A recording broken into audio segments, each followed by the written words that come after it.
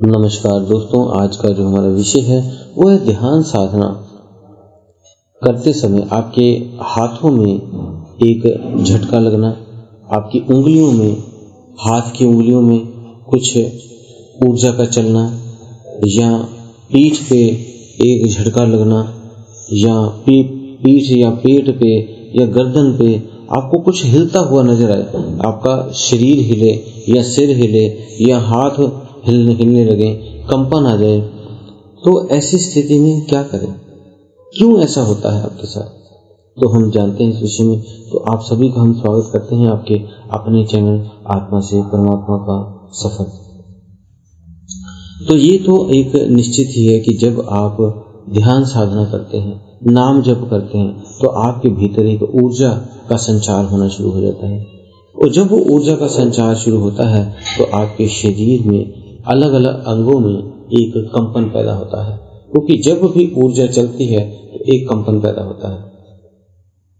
आप उदाहरण के तौर पर एक गाड़ी की एग्ज़ाम्पल ले लें या एक बाइक की एग्ज़ाम्पल ले लें। जब भी उसे आप स्टार्ट करते हैं तो आप देखते हैं, उसके शरीर, उसका जो सारे पार्ट्स हैं, जो वो हल्के हल्के हिलने लगते हैं। आप उसको पकड़ के बैठते हैं तो आप भी हल्का हल्का वाइब्रेट करने लग जाते हैं। ऐसे ही गाड़ी को आपने स्टार्ट किया तो सारी गाड़ी हल्की हल्की वाइब्रेट होनी शुरू हो जाती है। तो जब भी कोई ऊर्जा गति करती है, तब वाइब्रेशन होनी शुरू हो जाती है। उसमें आपका पेट्रोल या डीजल जो है खपत हुआ तो एनर्जी जब प्रयोग हुई तो आपका वो चीज़ वाइब्रेट होने लगी, हिलने लगी।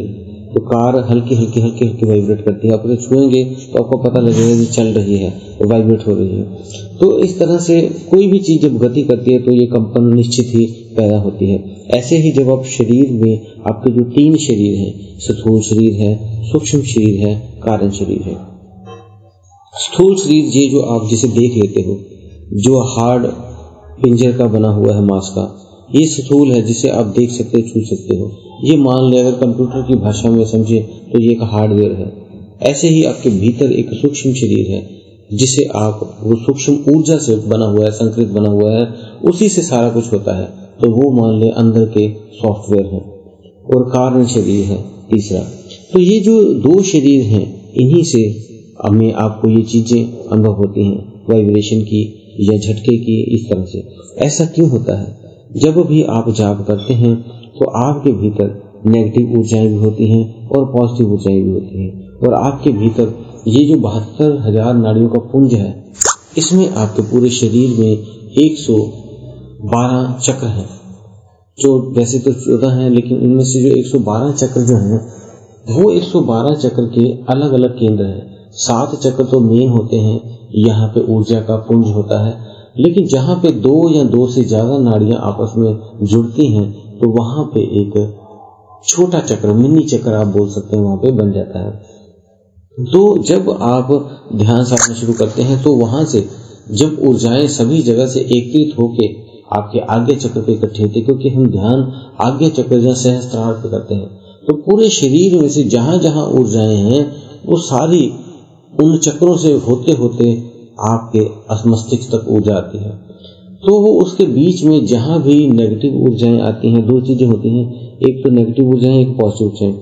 अगर नेगेटिव ऊर्जाएँ होते हैं, तब भी आप ऐसा आपके शरीर में, आपका शरीर घूमने लगता है। कई आप देखते हो, कई झूम झूम कर आपने देखा होगा अपने गर्दन को हिलाते हैं, बालों को खोलकर। तो उसमें भी दो तरह से है। अगर तो आपको आनंद आ रहा है अच्छा लग रहा है और आप होश में हैं, तब तो वो पॉजिटिव ऊर्जा है। लेकिन आप अगर बेहोशी हालत में एक तरह से, आपको कुछ याद नहीं रहा और आप ऐसे घूमी जा रहे हैं, सिर को गोल गोल घुमाए जा रहे हैं तो वो नेगेटिव ऊर्जा है। तो जब भी वो नाम जप या इस तरह की शक्ति से आपका शरीर हिले या ऐसे झूमे तो वो ऊर्जा उस नेगेटिव ऊर्जा को जला रही होती है। तो जब वो जल कर राख हो जाएगी तो ऑटोमेटिक सही हो जाएगा। आप अपने आप संतुलन में आ जाएँगे। और जो झटके लगते हैं, कभी आँख पे, आँख हिलने लगती है, या कभी आपका बाजू बाजू में कहीं जोड़ गांठ पे हिलने लगता है वाइब्रेट होने लगता है, या हाथों के जोड़ पे कभी हिलने लगते हैं या पीठ हिलने वाइब्रेट होने लगती है, या पेट में कहीं पे वाइब्रेशन होने लगती है, या पैरों के किसी जोड़ में, या पैरों पे ही इस तरह अलग अलग आपके अंगों में वाइब्रेशन होने लगती है। वहाँ पे आपको ऐसे लगेगा कोई झटका सा लग रहा है। तो ऐसा तब होता है किसी भी नाड़ी तंत्र में जो तीन नाड़ियों का संयोजन आपको बताया है, दो या दो से अधिक तो वहाँ पे जो चक्र होता है, अगर वो ऊर्जा भेजने में असक्षम होता है मीन्स कोई अवरोध उसके रास्ते में होता है, तब वहाँ पे वो झटका लगता है या वाइब्रेशन होती है। तो ऐसे में आपको वहाँ पर पता लगता है कि ये वहाँ पे चीज़ कोई हिली है। आपकी आँख पे कुछ हिला है, या आपके सिर में कुछ हिलने लग गया है, या आपके पीठ में कुछ हिलने लग गया है तो ऐसे में वो ऊर्जा गति करती है। झटका लगने का मतलब है कहीं पे ब्लॉकेज है, वो उसे रिमूव करने की कोशिश कर रही है। तो इस तरह से आप जब ये चीज़ें साफ़ होती हैं क्लीन होती हैं, तब ये आपको ऐसा महसूस होता होता है। तो इसमें डरने की बिल्कुल ज़रूरत नहीं। तो नेगेटिव होगा, तब भी क्लीन हो जाएगा। पॉजिटिव है, फिर तो और अच्छा है। और जैसे जैसे आप इसमें आगे बढ़ेंगे तो दिव्य अनुभव अपने आप होने शुरू हो जाएँगे। तो जैसे व्यक्ति आगे चक्र पे ध्यान करते हैं तो पहले उसे धीरे धीरे वहाँ पे अलग अलग रंग दिखाई देने, फिर प्रकाश का दिखना, फिर अंदर की यात्रा शुरू हो जाना, ऐसे कई सारे उसके, उनके साथ ये चीज़ें होती हैं। तो आप इसको करते रहें। कोई भी अगर और भी आपका प्रश्न होता है तो आप हमें कमेंट बॉक्स में लिखें। हम उस पर वीडियो कोई ना कोई बना देते हैं। और हम आपको कई प्रश्नों के उत्तर आपके पहले ही जो क्वेश्चन करते हैं, उनकी वीडियो बन के पड़ी हैं।